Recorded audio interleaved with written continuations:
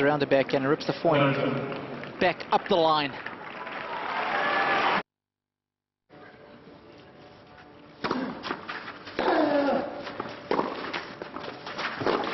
Oh, yes. Banana. Kind of hits around the side of that one. Serious curve. That's such an important shot for him. Yeah, when that one's firing.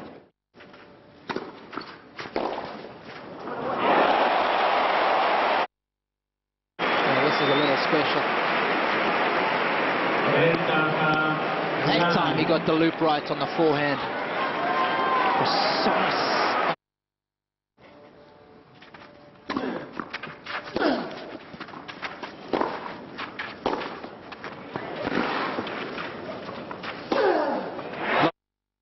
Right there, looked like it was a bit of a miss hit. Ball still caught the line. Not sure behind the eight ball.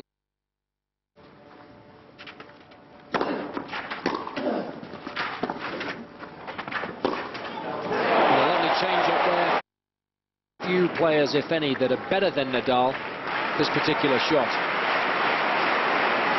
Just a lovely roll of the wrists there.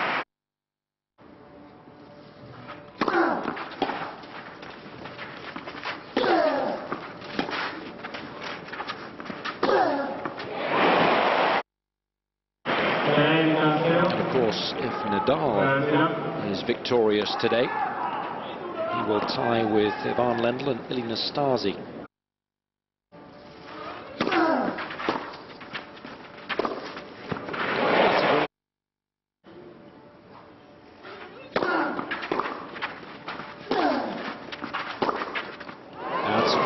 Shot. Take the ball on the rise when it's kicking up at you. And especially when you're choosing then to go down the line. You hit that ever so slightly late and you're in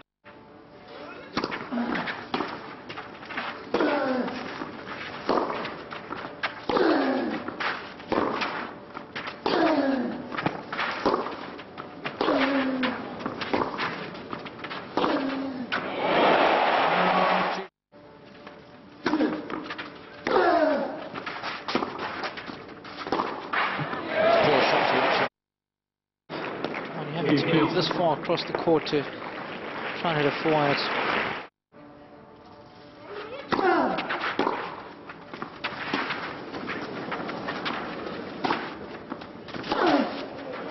He's made it.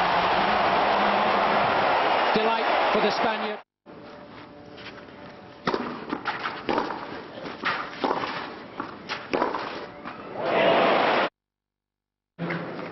Well, you do have to be as aggressive as you possibly can, but uh, we know that Nadal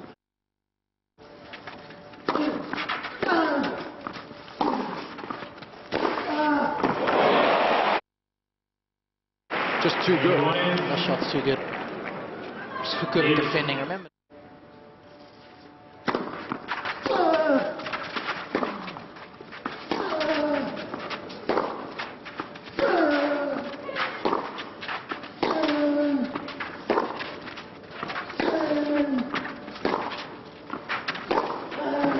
Brilliant. the nail on the head. This is go-to game plan. Um, yeah, so strong with his backhand.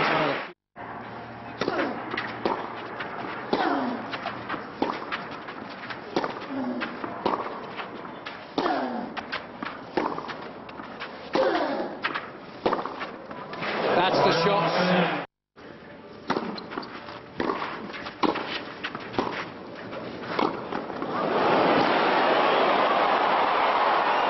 Oh, that's outrageous. Backhand smash.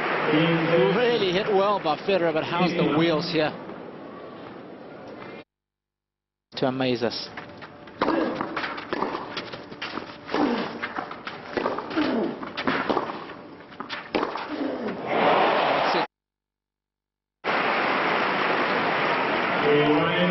Such good use of the top hand. The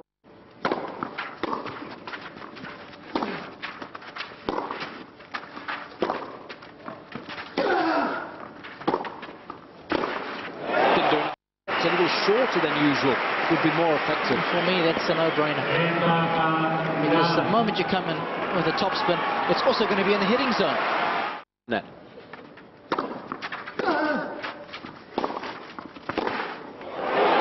He's made it. Nadal at his very best.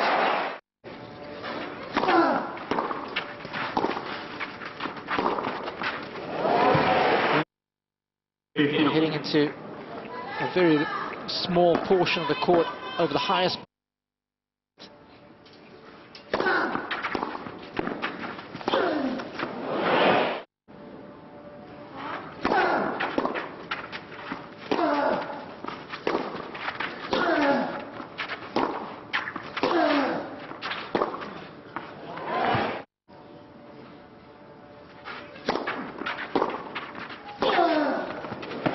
One shot will allow Nadal to feel very good about his chances.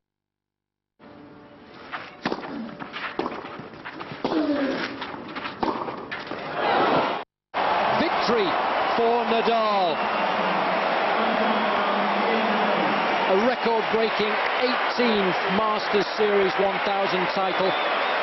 His third of the season after earlier victories in Monte Carlo and Rome and he becomes the first player ever to win three consecutive titles at this level 10.